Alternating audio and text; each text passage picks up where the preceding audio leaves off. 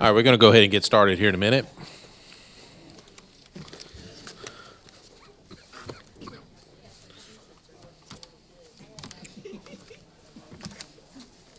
You got everybody? Maybe way down. Carrie's not, Carrie's still talking.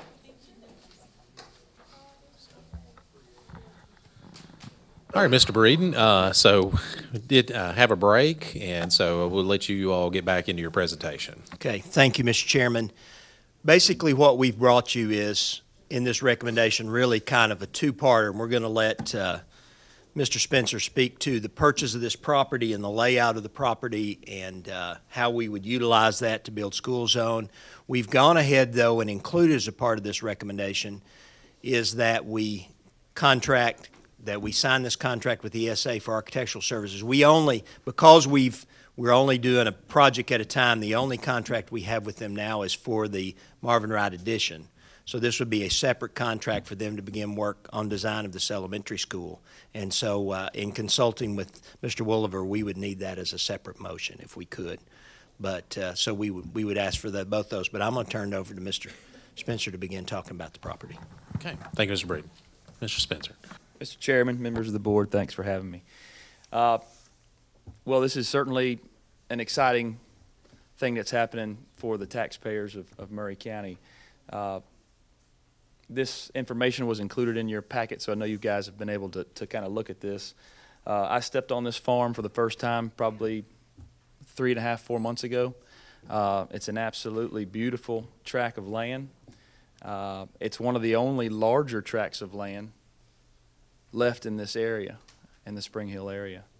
And when you talk about trying to put a campus together, you need a large tract of land to get that campus feel. Our biggest charge was to make sure that we could put on this property what this school system needs, what they, what they wanted in, in those three schools, an elementary, a middle school, and, and a high school.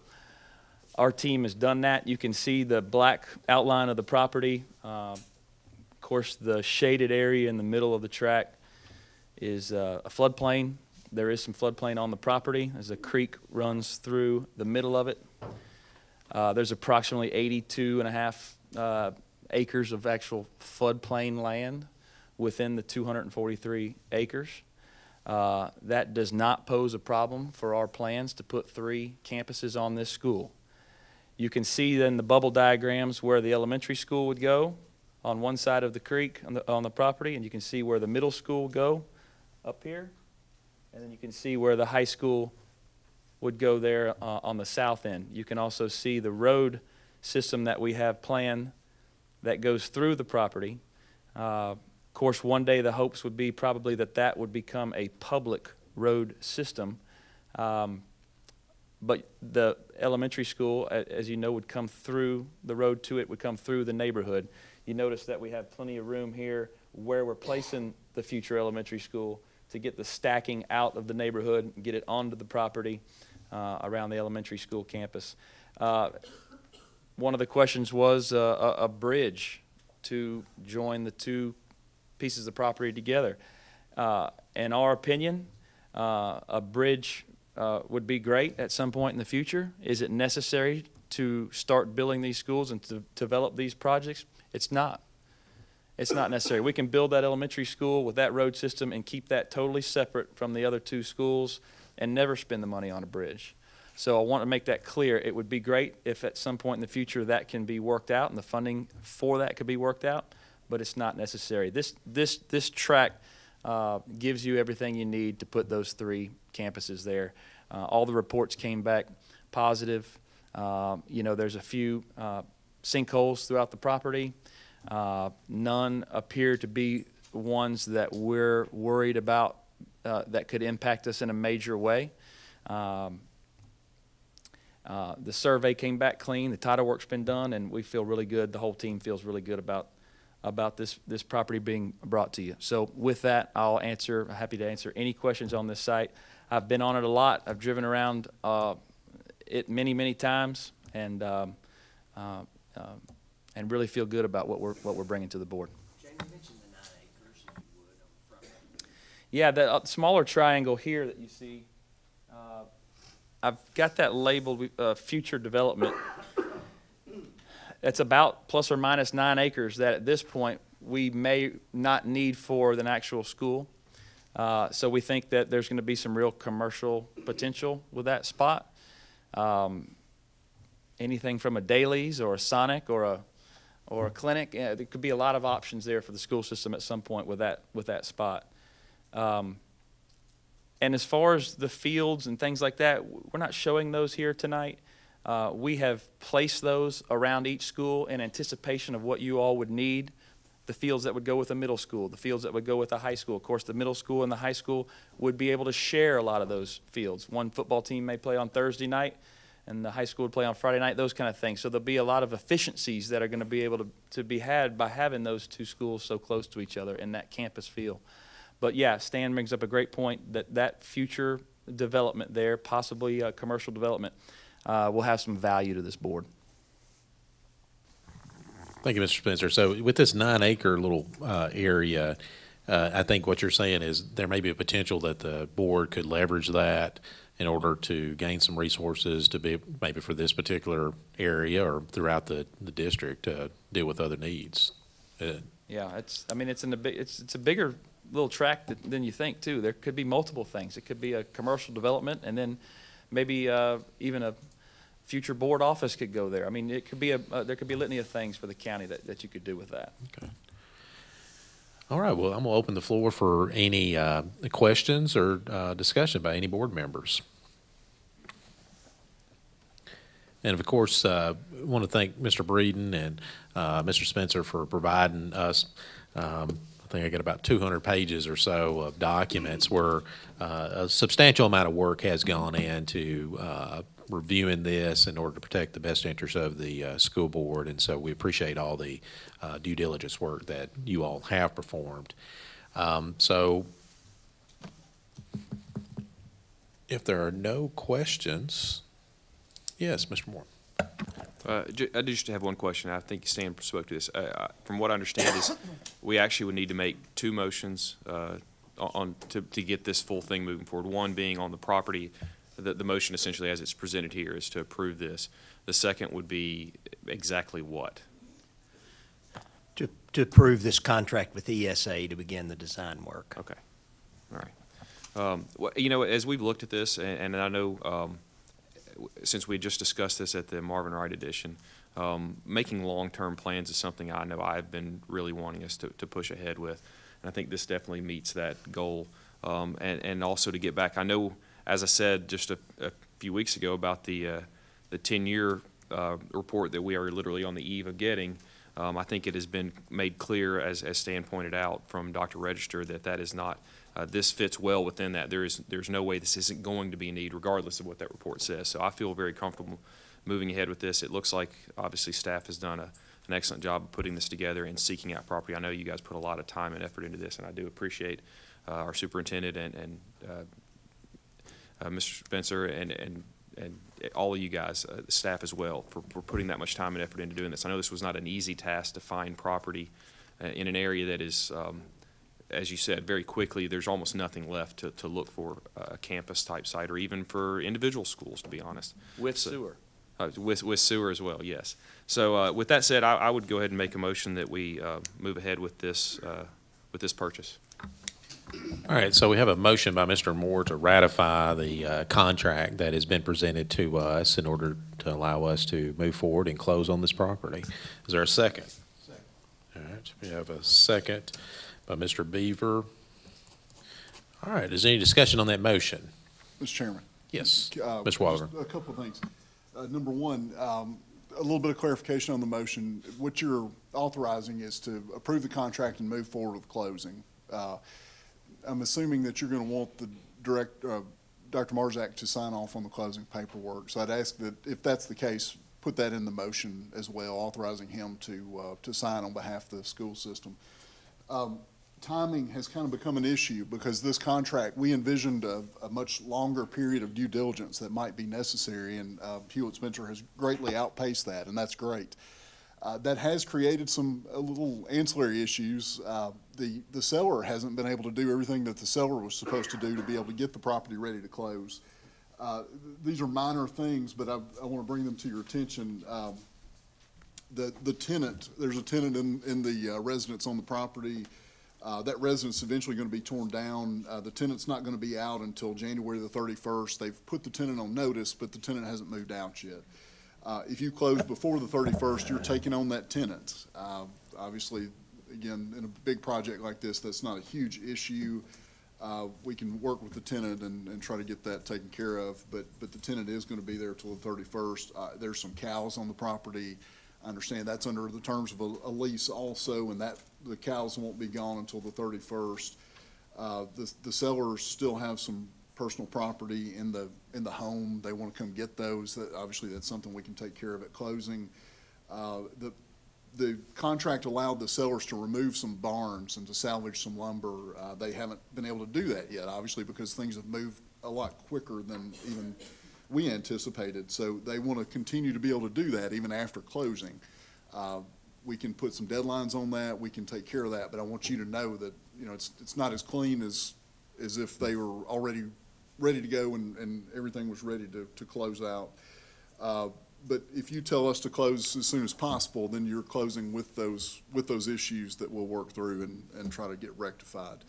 Uh, But I want to bring that to your attention uh, and, and get a little bit of clarification on the motion, just to give us timing and say, okay, not only do we approve the contract, but we're ready to close either immediately or we're ready to close at the end of January or however you want to do that.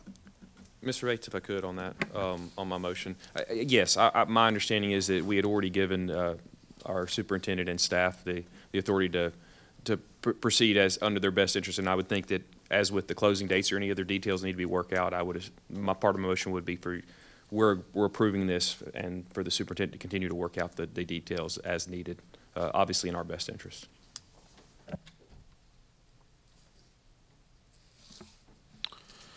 All right, so I know we've got to ratify this contract.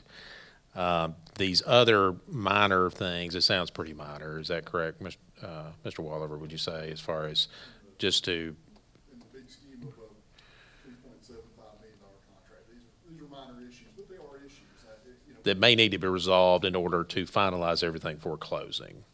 Well, or to finalize after closing, I think is, is what the recommendation that's come to you is, is let's close as quickly as possible, or we can get moving on the elementary school, and we'll clear these things up as they come. You don't have to do that. I mean, you could choose to, to wait until the issues are rectified. That leaves the balls in the, in the seller's court, and makes them address the issues. Uh, You go ahead and close ahead of time, you're, you're gonna be addressing those issues. If the tenant doesn't move out on time, then you have to file a detainer action or something along those lines.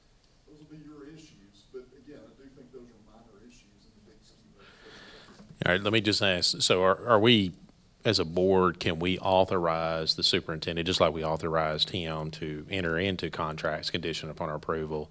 Can we authorize to allow him to make those decisions and also to sign the closing documents in order to close? Yes, definitely. We, we've got to have a, a, uh, a signatory.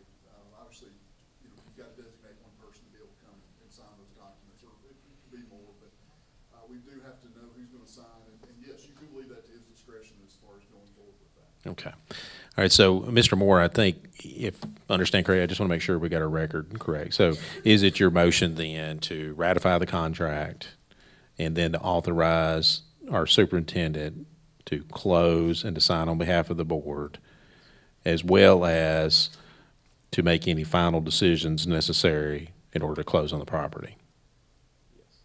Okay. Is there any, anything else you need on that motion, Mr. Walliver? Okay. All right, so that motion was by Mr. Moore, and it was seconded by Mr. Beaver. Mr. Beaver, do you consent to, Oh, no, I'm sorry, I'm talking to Sheriff. do you consent to that change to the motion? Okay. All right, so Mr. Beaver does consent. Those clarifications on the motion. All right, is any discussion on the motion?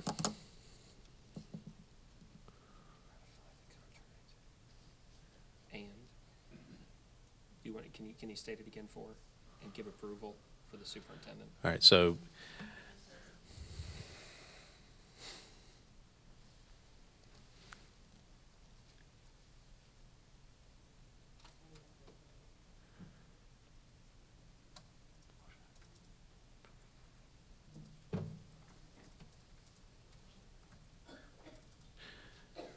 words again.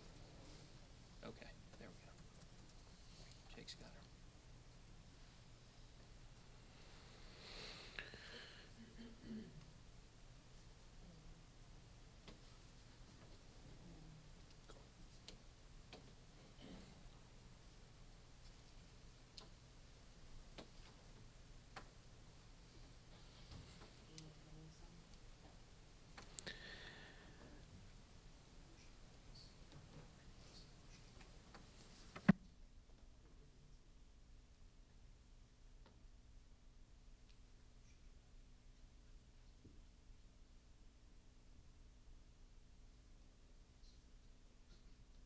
Good, you're a step ahead of me, Mr. Walliver. That was aggravating me a little bit. Yeah, that's much better. Well, do you also, we need to include, and then authorization to make any changes necessary to close?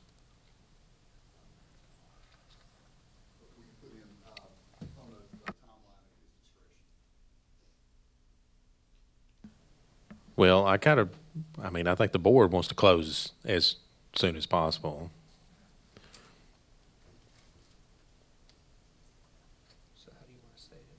I've solved issues related to closing. I mean, I don't need that from my part. You- You're telling him to move forward as soon as possible. Right, but now, like, if you're having to make changes to the contract because of some of these other leftover issues like tenants and things like that, if he has to sign any additional documents, no, we need to have some sort of authority authorizing that. You- Based on what you've done, you're telling him sign. the Okay. All right, Any necessary reasonable document associated with that, we'll, we'll cover with this. okay, I'm good with that. Okay. So put a period after documents, to take out and authorize. There. All right. Mr. Waller, do you feel secure now? Okay, because you'll need something from the minutes, I guess, in order to, when he's signing those documents, so, okay.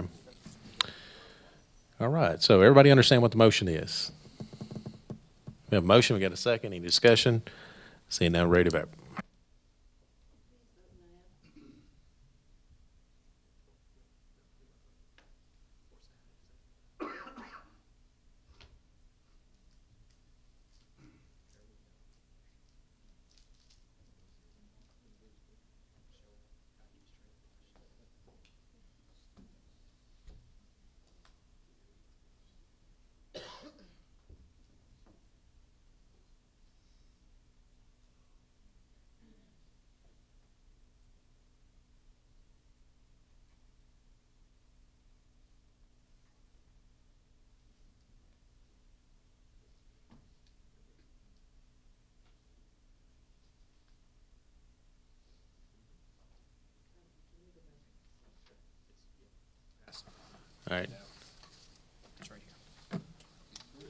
That motion does pass unanimously. Yes. Okay, good deal.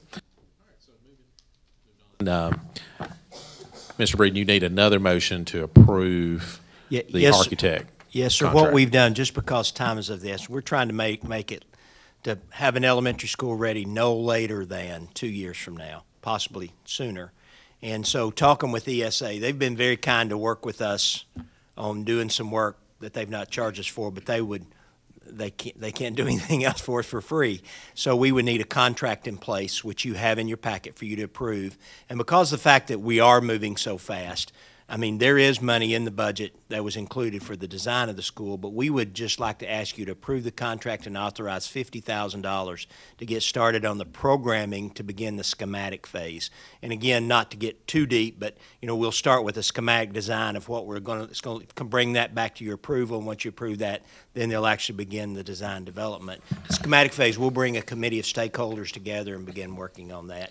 And we, we'd like to start working the first week of January. Good deal. Mr. Breed, so this uh, $50,000, that would come out of the new uh, school development fund? Right, out of four- those, out of that capital bond. Yeah, 4.5 four million. point five million, which was for the purchase of land and the development of new schools.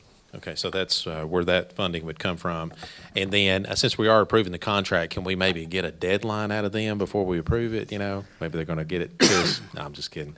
But I do want to reiterate that um, we do want to try to get this done as quickly as possible. And just some of the, we don't want to be arbitrary with dates that, you know, we want things done by a certain date, just to pull the date out of the air.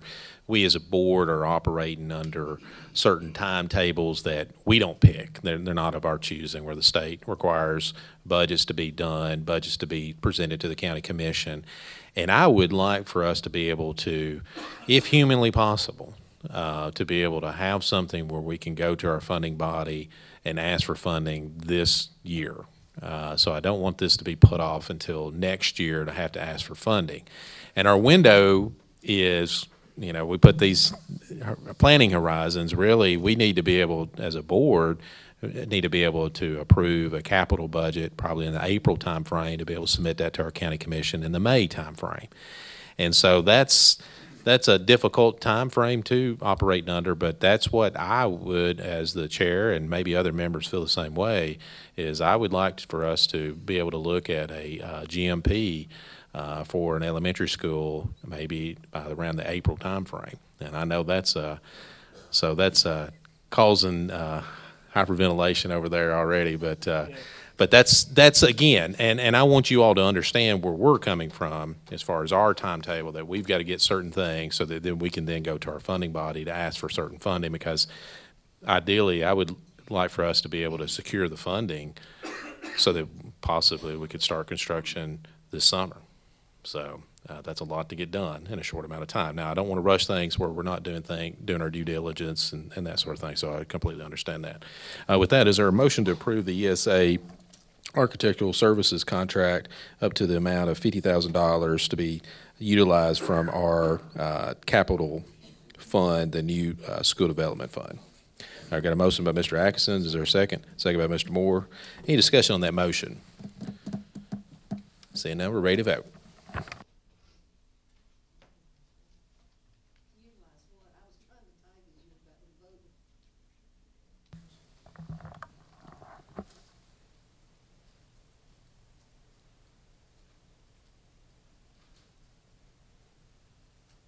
So it should just say motion to approve ESA contract up to fifty thousand dollars.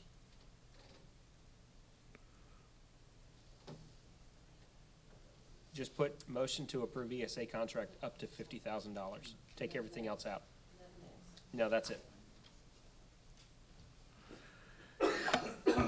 The only thing I would clarify is the fifty thousand dollars is just to get us started. We'll obviously come back with a more definite figure and, and within probably at next month's meeting or the following meeting, so you can, well, fifty thousand dollars is not gonna design the building. I think everybody understands that fifty thousand. This is to get us going. Just to Okay. get started, yes, All sir. right. Thank you, Mr. Breeden. And thank you for that additional information. So, any other discussion?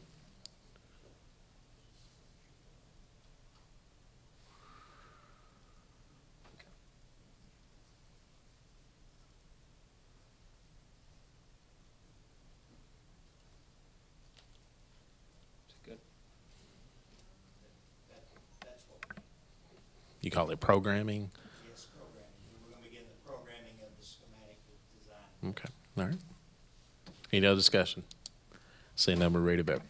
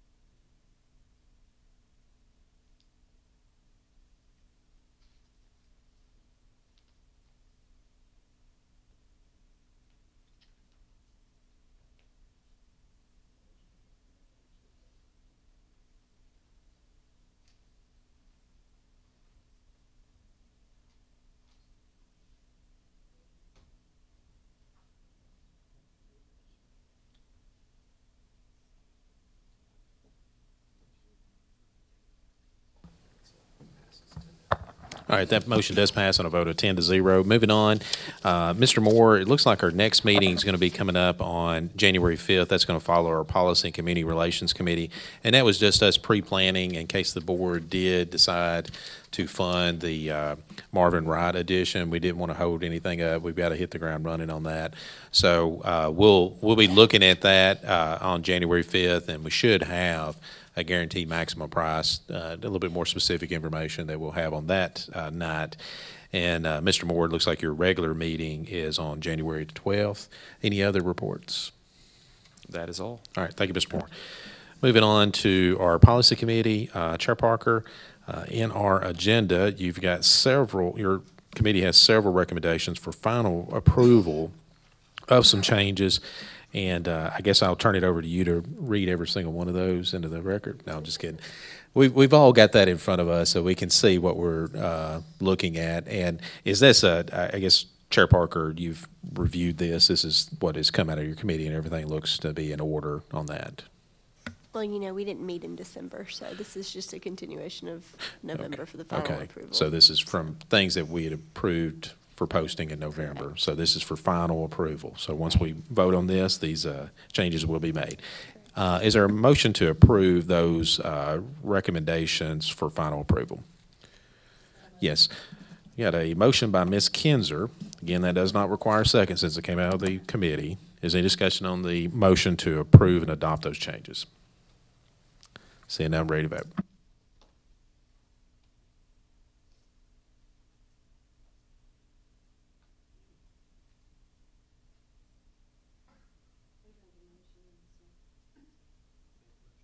Motion by Ms. Kanzer does not have a second.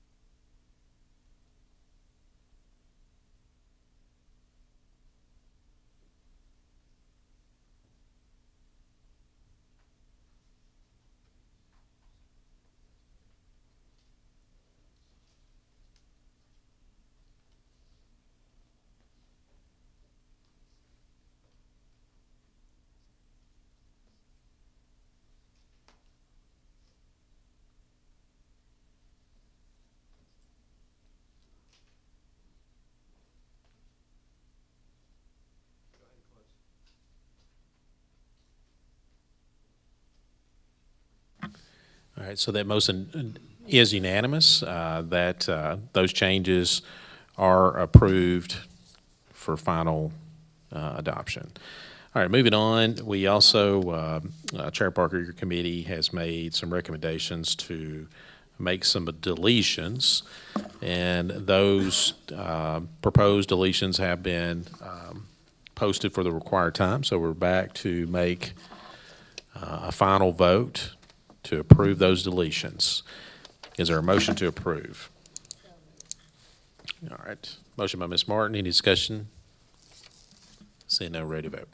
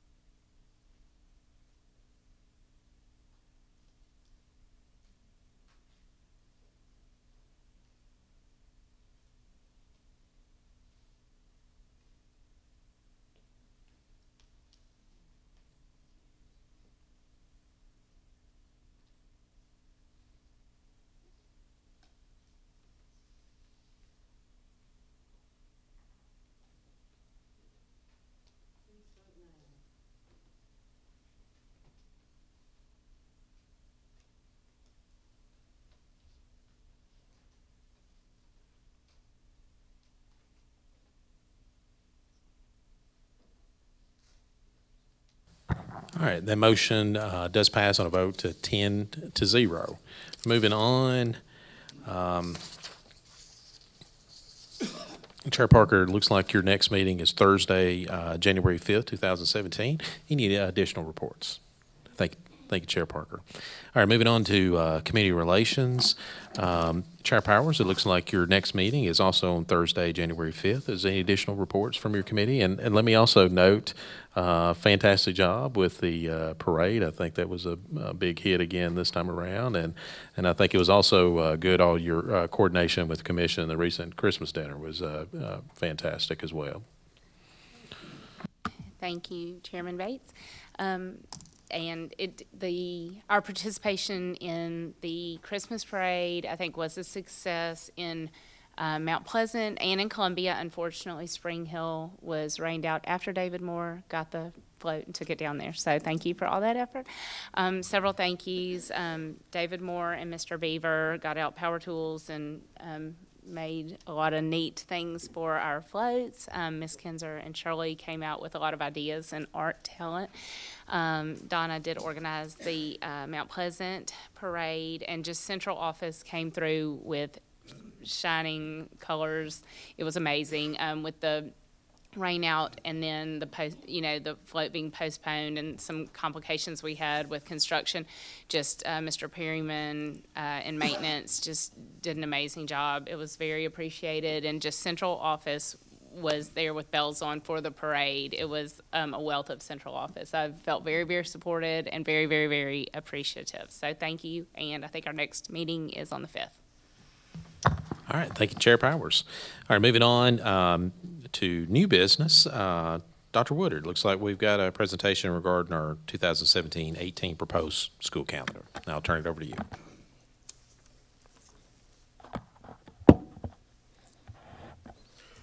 Greetings, uh, Chairman Bates and distinguished board members, and happy holidays to all of you. Uh, This evening, I prepared for you a sample copy of the 2017-18 school calendar for your approval. Uh, I'd like to take a couple of minutes uh, just before I go over this to kind of answer any questions that you may have and talk about some of the more important aspects of the calendar and answer, or alleviate any concerns. Um, This calendar is aligned with the previous calendar that we've had uh, during the previous year and similar to the ones we've had over previous years. Uh, Because of the 17, 18, because the 17, 18 calendar mirrors uh, what we have previously done, we polled a smaller number of uh, individuals for feedback. Uh, We did poll uh, counselors, uh, support employees, we spoke with some principals, uh, we spoke with several central office administrators, and also the executive staff. Even with the executive staff, we had some very hard conversations about what's right, what's in the best interest of kids, and also what is in the best interest of parents, and what's also in the best interest of the school system. So there was some very hard conversations there, and we felt like we vetted this pretty well. Uh, In addition to that, uh, based upon the director's input, we uh, felt that it would be prudent to remain on the traditional calendar for one additional year before possibly adopting a new calendar, uh, a new two-year model, uh, possibly for 1819. In January, we plan to come to you uh, with a two-year proposal for the 1819 school year that would include a modified traditional calendar and that would include a balanced calendar for you to review. We've also polled uh, several constituents in the community regarding that calendar, and we have received over 500 responses. So we've gotten a large feedback, and we're excited about sharing that feedback with you in January at the academic committee. With regards to the uh, calendar that's on the agenda for tonight, uh, we have 13 stockpile days in this calendar. Eight of those days are inclement weather days. Five of those days are for professional development. As you can see, those PD days are coded in pink on the calendar. The calendar starts with July 26th through the 29th. Those are in-service days, which will allow for capacity building for principals to work with their staffs during that time and to set the tone for the school year. If you look down to the 31st, that'll be the first teacher prep day for teachers to get ready for the first day of school. August 1st will be the first day of school. There's no change there. And then, of course, on August 2nd, we have a professional development day for teachers. And that a day allows uh, counselors to do some scheduling adjustments. It allows for enrollment adjustments for new enrollees. And of course, it allows for staffing adjustments with teachers as well. So I know there was concern about the August 2nd day and that time in between. And I'd be happy to ask and answer any questions about that uh, at the conclusion of this. Moving down to September, we have one PD day in uh, September, September the 1st. Moving into October, we have fall break, and that's October the 2nd through the 6th. It is a full week. November 17th, we have a PD day. That's PD day number three. Then we move into December 15th, which is the last day of the semester, which is an abbreviated day. It is an abbreviated day, but of course, it does count for a full day. By state law, if we stay in school for 3.5 hours, it counts for a full day, and that way we will not take a hit on our attendance. So it does count for a full day. Uh, the other concern is, is that parents requested uh, travel time. Parents would like to get the early jump on traveling. We have many families in Maury County that want to travel during that time, and we felt like this would help them get the early jump. If we took that day away, we felt like we would pay on the other end because families would travel, and then, of course, they would not come back on time, and they would start second semester with uh, absences. So that was a concern there. So we felt like the abbreviated day is justified, and we can have more discussion on that at the end. In addition to that, moving into the second semester, January the 2nd is a PD day. That's PD day number four. Then, of course, we have February 19th, no school for President's Day. March 12th, we move into uh, professional development. That's the final day of our stockpile PD days for the year. Then, of course, we have April the 2nd through the 6th, which will be spring break. April the 7th, of course, is the infamous Mule Day. April 23rd through May the 4th, we're in the state testing period. And then, of course, we conclude the year on May 22nd and 23rd with in-service, uh, with the uh, administrative in-service. This will allow time for uh, principals to look at quick score reports, go over the summative assessment data with their staffs, and also begin planning for the next school year. So this calendar features 175 teaching instructional days. It features five professional development days that are stockpiled. It features five administrative discretionary in-service days, one teacher prep day, one, I'm sorry, two parent uh, teacher conference days. And if you would look at those parent teacher conference days, I don't see any fourth Thursday conflicts on there. So those, there are no conflicts with uh, board meetings if you would take a glance at that. Of course, having those days also provides four times a year that parents can assess progress with their children's academics. And then, of course, we have uh, 10 paid vacation days and two paid holidays. Finally, this calendar does meet all Tennessee Department of Education requirements with regard to the number of school and professional development days as outlined by the TDOE. So having said that, I was wondering if there's any questions that I could answer for you this evening. All right, thank you, Dr. Woodard. So let me open the floor for any questions or discussion. Yes, uh, Mr. Dudley. Like you, Mr. Chairman. In, in the past, uh, we haven't, uh, closed, uh, for Veterans Day. Uh, I, th- I think Veterans, uh, Day is, is a holiday that, uh, for a period of time lost some significance. But with the recent conflicts that, uh, we've, we've been in, the United States has been in for the last, uh, 10 years or more. We've had a resurgence of, of uh, people in the military service, and, and a lot of them have lot, given the ultimate sacrifice uh, by giving their lives, and then other of them have come home with uh, significant injuries. And uh, I'd like to see us consider uh, closing the schools on Veterans Day so people can uh, attend the Veterans Day events. There's several large parades uh, throughout the nation and, and uh, other activities uh, to be able to honor our veterans. And uh, I'd like for us to, to look at being able to close on Veterans Day. Uh, Mr. Dudley, we can definitely consider that. However, we put on some awesome Veteran Day programs. Um, had the honor of participating in those over the past two years at various schools. So if we close, we wouldn't have any awesome programs to put on. But we'll consider it. That's something we'll, we'll, we'll, we'll look at for the eighteen nineteen calendar and, and further.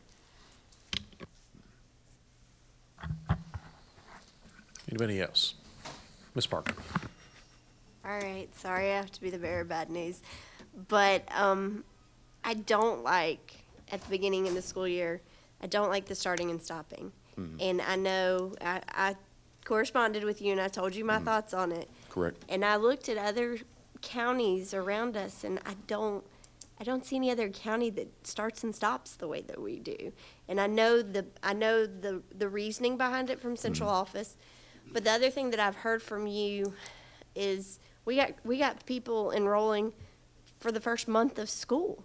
So, I mean, we've got people that are coming in that, that haven't done what they were supposed to do as far as pre-registration. And I don't feel like parents should be punished because they did do what they were supposed to, and they come on, t- they come on a Tuesday, and then they have to find childcare Monday and Wednesday. It just seems very, um, awkward. Um, and even actually, just looking at it now, the way the school year ends, it ends on a Monday. And I know for you, with your strive for 95, I mean, if I'm a parent and I want to get a jump start on the on this summer um, break, and I don't have a kid graduating or whatnot, why am I going to come to school on that Monday? Um, so I think that just some of those things are things that I just really, I wish, I want us to keep in mind what parents are thinking too. I know we have a half day in there tomorrow.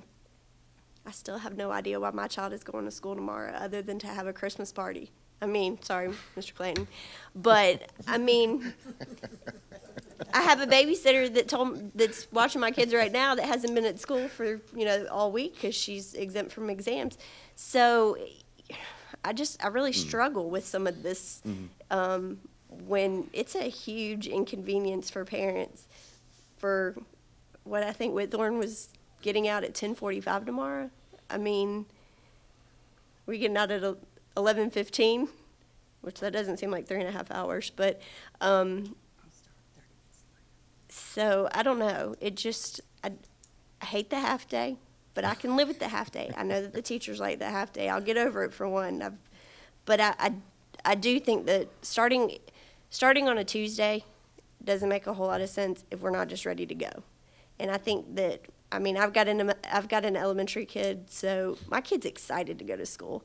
And so to have to be like, hey, son, you got to go on Tuesday, but oh, you get to stay at home on Wednesday, but then you get to go back on Thursday.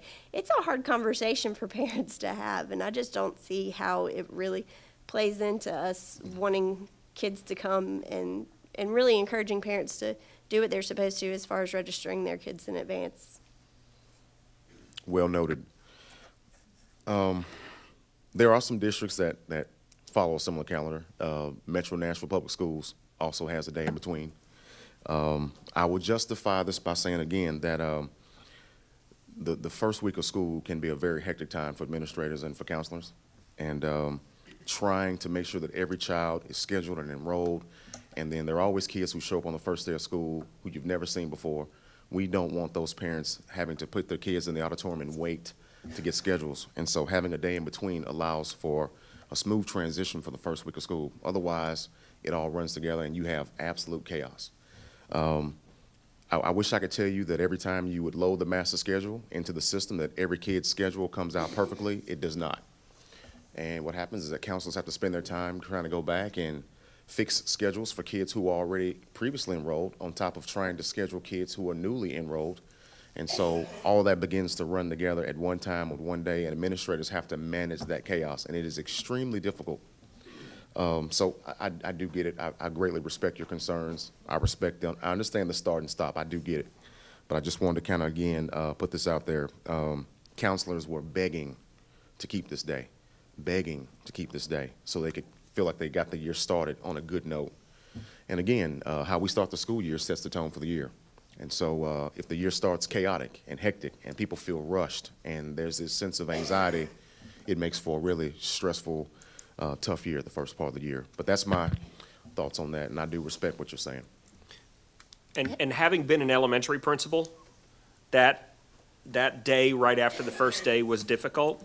But I also know my colleagues that had grades six through 12, it was vastly important for them. Mm-hmm. So it was, it, for me as an elementary principal, it was a detriment, but for my high school and middle school counterparts, it was beneficial. Because then they got to fix all the schedules when no kids are there and they're just sitting and waiting and sitting in the auditorium. So it's understandable. I think there are other solutions that we could come up with that would, I mean, whether it's starting on a Thursday and a Friday or something like that, but starting on a Tuesday and then having that break on Wednesday. Again, if it was just one day that parents are having to, or if, even if you started school on a Monday, um, but having one day of, having to find childcare, not two consecutive days, but two days in a week that are not consecutive, as someone that has children, I'm just telling you, it's not easy. Yeah. So, And unfortunately, the way this calendar lays out, because August 1st is on a Tuesday, in order to start school on Monday, the 31st, you have to have permission from the Commissioner of Education by law to start before August 1st. Correct. And that, that's going to, that would take time and delay the, pr- delay the process, but definitely understandable, definitely. Mr. Moore?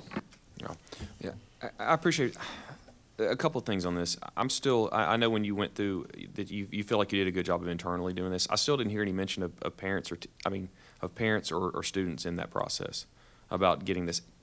And just to be honest, I- maybe I'm wrong. It looks like we just, it looks like you guys are focusing on two and three years out. More importantly, you're going to bring that in January, I think you said. And this is just, we just grabbed last year's and threw it out here again. That's what it looks like. Okay.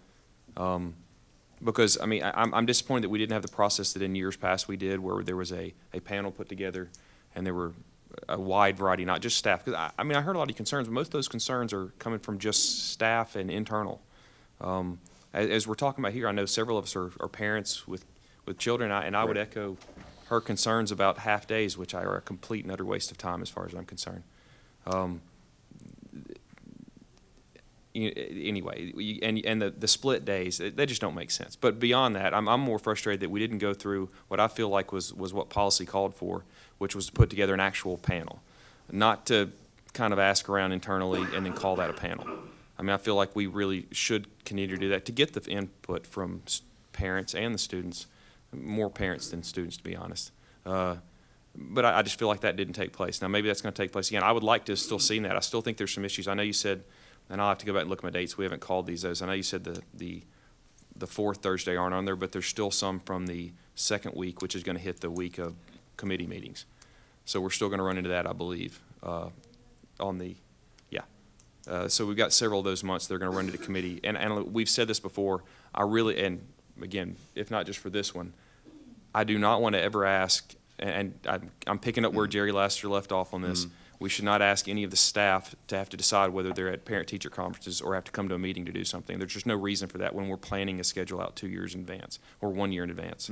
Uh, we just should, we should be able to figure that out, where we're not asking uh, anybody to have to choose, or even board members. Again, we've said that for a long time. It would be nice to be able to be at these, um, the parent-teacher conferences and not have to choose whether you're going to go to that for your own children or just go to see the schools uh, that we have. There's a lot going on those evenings, uh, or have to be here having a wonderfully exciting meeting.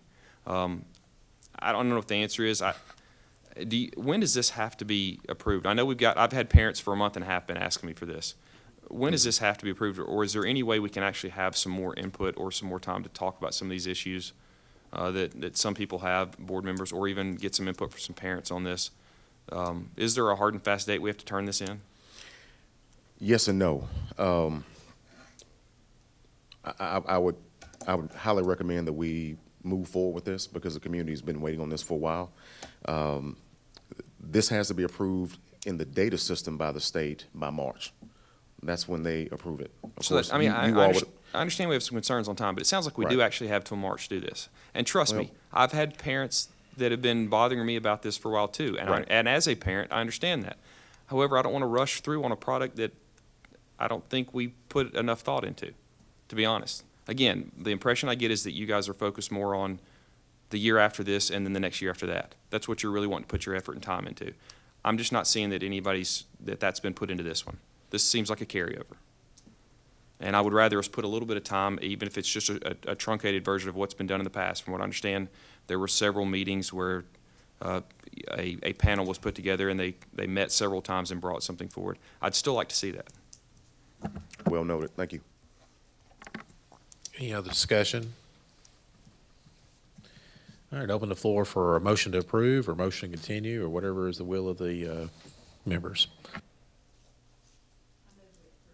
All right, got a motion by Ms. Kinzer.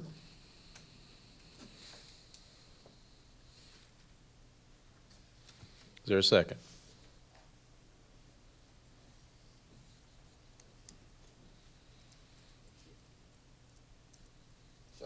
All right, got a second by Mr. Dudley. Any discussion on the motion? All right, seeing none, we're ready to vote.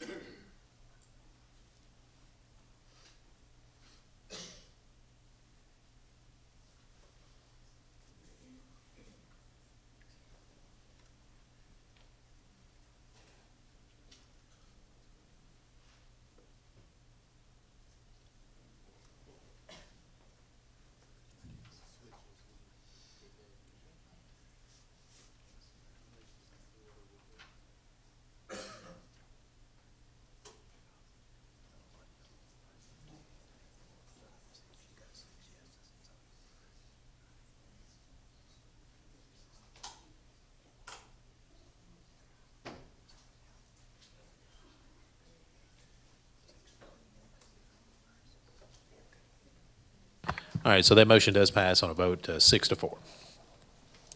All right, so moving on to the next item on the agenda. um,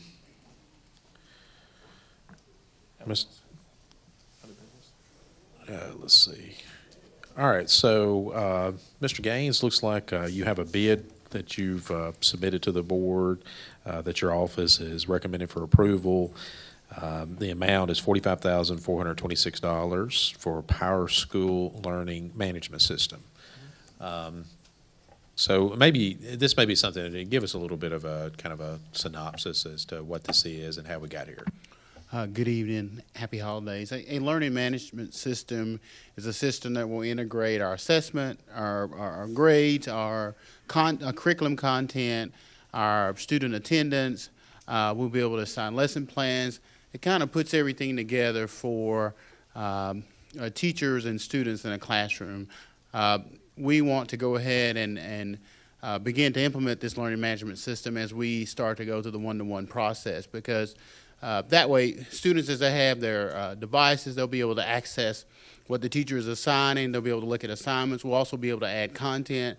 We'll be able to do that digitally. So, uh, as uh, my memo said, we're trying to unify the curriculum, and that learning management system does that for us.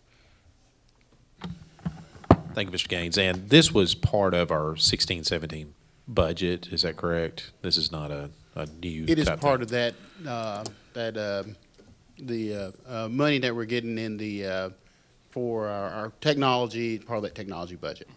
Okay. So this is uh, utilizing some of the state funding that Yes, they sir. provided for Yes, sir. technology? Yes. Okay. All right, we got a motion by Mr. Moore. All right, second by Ms. Morency. Any discussion on the motion? Seeing none, we're ready to vote.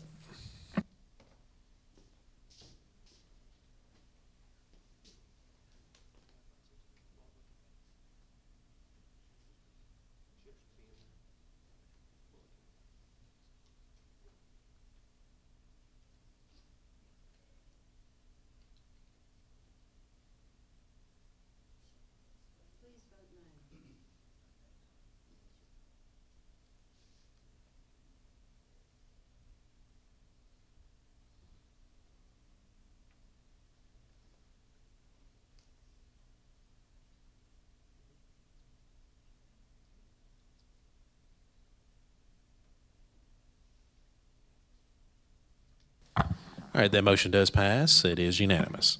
Moving on to uh, surplus, Mr. Breeden. Mr. Chairman, at the last meeting, you uh, approved the items that we were uh, presenting in our fall surplus sale. We're actually a little bit behind on having that sale, and these are some additional items that we found that were left off the list. So if you would go ahead and approve these, we can get them in on the sale that we're going to have here at the end of the year. All right. Motion by Mr. Moore, second by Mr. Atkinson. Any discussion on the motion? Seeing none, we're ready to vote.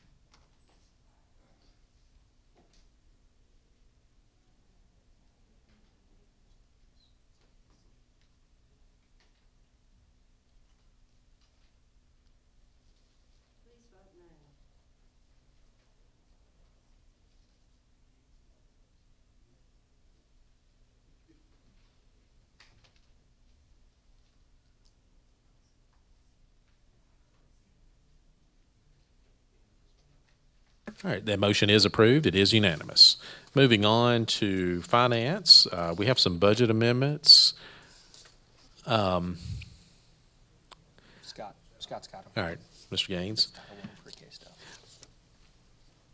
Let me ask you, Mr. Gaines, I, I know that, uh, we're, we're going through a transition period with our CFO. Um, I guess I got a little bit of hesitancy voting on any amendments at the present time. Are any of these things pressing that we, uh, have, really need to vote on tonight, or could we wait till maybe the next meeting?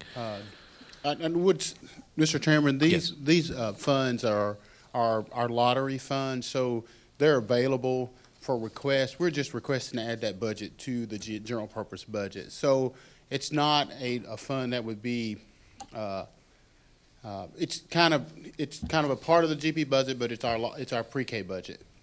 So it's an additional allocation to the state that we get from the state for pre-K.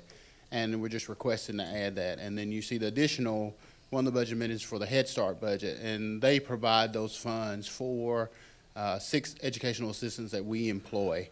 And uh, we just request for reimbursement from Head Start, just like request reimbursement from the state for those funds.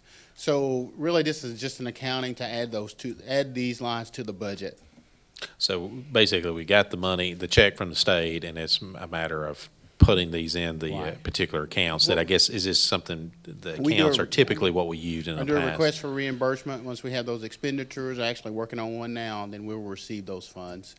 Okay, Uh, So we actually, you know, have paid out those funds, and then we'll be doing a request for reimbursement. okay. All right, uh, are there any questions or discussion regarding those three amendments that are on our agenda? Is there a motion to approve those amendments? All right, got a motion by Mr. Dudley. Second. All right, second by Mr. Atkinson. Any discussion on the motion? Uh, yes, uh, Ms. Parker.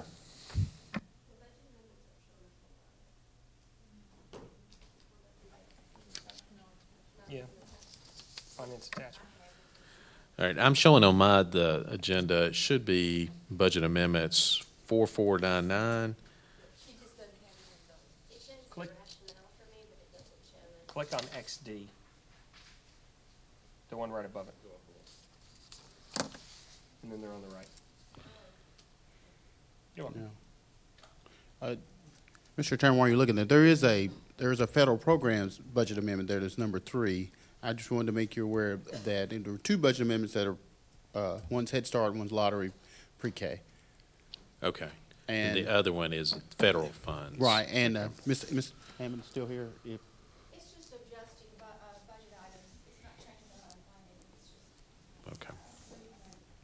All right, so the, the motion to approve our budget amendments BA four four nine nine, forty-five hundred, and four five oh two. Any more discussion on that motion? Yes, Ms. Parker?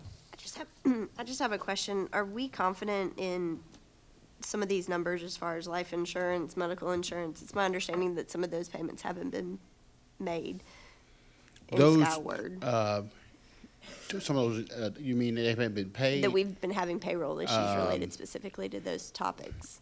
the way we do that, we project what the life insurance costs are for each employee, and then we budget those. And we just, once we expend those funds, we just request them back. So I wouldn't, I'm not gonna request an expenditure for any funds that we haven't expended correctly. So if, if they're being expended, you know, if, if there was a mix-up in a line or something, then I'm not gonna request it. And we look at, we make sure that the employees that uh, we're requesting funds for our, uh, pre-K and, uh, pre-K employees and educational assistants so that we make sure that, uh, we're not, if you're, if you're speaking of, that somebody else could have been requesting on our line or something, we No, I'm, wouldn't. I'm not really saying that. I'm saying, are we confident in these numbers? Are we gonna have another budget amendment coming back? Because people, uh, are we confident in the, the, the ones that we're moving around, essentially, right? For our pre-K assistants and, is that what I'm Typically- understanding for Head Right, Start and things like Typically that? But for, their checks um, haven't been right in uh, all the cases. um, I mean, I don't know necessarily just for them, but I'm Yeah. saying we, we don't have faith that, I don't, These, these are two unrelated issues. okay. Yeah, yeah, what? No, That's, no. in- okay. No, these- those are So these are just unrelated. estimates based on how much people should be paid? Yeah, How by, much by should be- using, by, yeah, Dr. Hargrove's involved in this, and this is just budgeting, not paying. So we look at their Okay. projected salaries and we create a budget. Uh, And uh, we're not going to expend any more budget than what's out there, what the state allocates. So the state allocates nine hundred and eighty-one thousand, three hundred and thirty-three dollars. And then on the Head Start side, we look at those Head Start assistants, what their experience are, and then we look at what their benefits are, and that's how we get that, uh, we request that reimbursement from Head Start.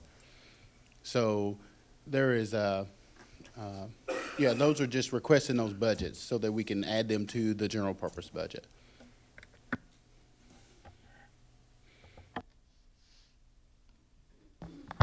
Any other discussion on the motion? Seeing none, ready to vote.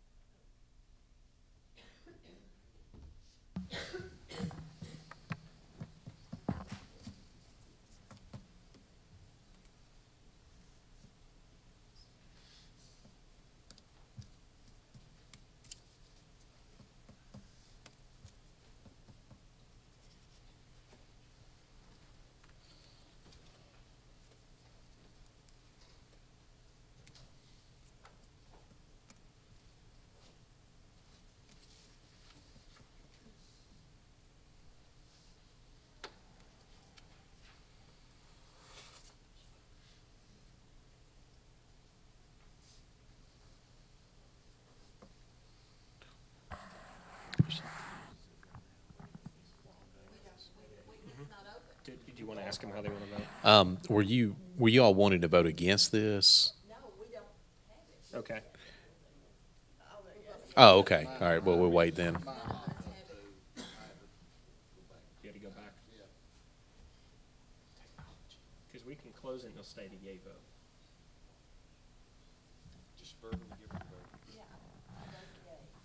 Okay. Ms. Parker, so, yay, okay. So go ahead and close voting. They'll be voted automatically yes. So it's unanimous. Okay. All right, so that vote, I believe, was unanimous. Is that correct? Ten to zero? Yeah, it shows Okay. them as voting yes. All right. All right, so moving on, uh, next item on the agenda, uh, we have, uh, a confidential, uh, attorney-client conference. It's gonna be part of our meeting.